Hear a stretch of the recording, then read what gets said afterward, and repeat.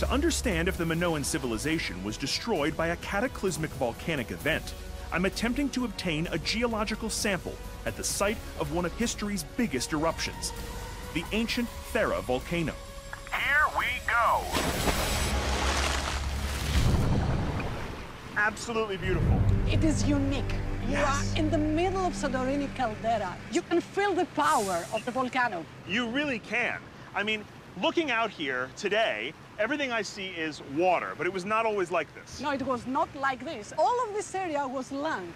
And what about this? Was this part of the old island? No, no, this is a new island. So the volcano is pushing up again. It's regrowing. Exactly. This is the obvious bet for what took them out. Everybody believes that the eruption of Santorini volcano destroyed the Minoan civilization, but this is not quite true, and we need to prove that.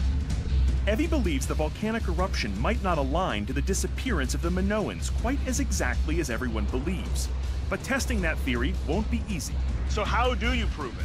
So we're going to collect some samples on the seafloor in, in order to do some dating to find the exact age of the Minoan eruption.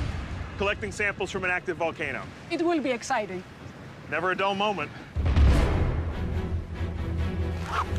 This is Dimitris Kambanos. He's an expert diver on Evi's team who is leading the charge on collecting samples of volcanic rock from the Thera explosion. If the Minoans were blown to bits by one of history's biggest bangs, the samples need to line up chronologically with their disappearance. Here we go.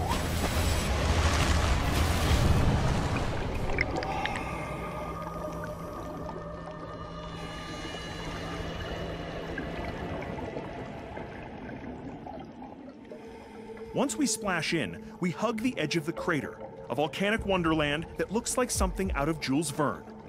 Wow. Just wow. It is another world down here. You realize how enormous the explosion must have been to move rock like this. A few dozen feet toward the center of the caldera, I take the opportunity to do something that would kill me on land. I jump off a cliff. Free fall. This drop goes down a thousand feet or more into the active abyss of the volcano.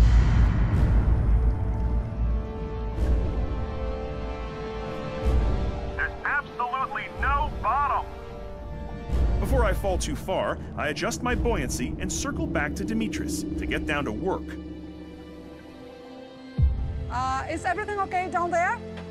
Everything is great. It's absolutely incredible down here, Evi. You are diving in Santorini caldera. It's beautiful. I may never come back. We begin hunting along the walls for pristine samples of volcanic rock that were blasted out by the eruption.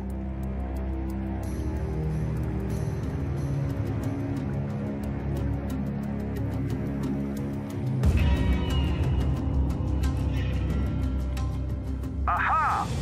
This is pumice, a volcanic rock created when gas filled lava solidifies. It's the exact kind of sample that could date the Thera eruption, and it's great for getting rough skin off the soles of your feet.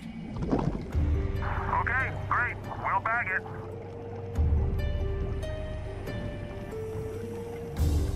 We collect several more samples.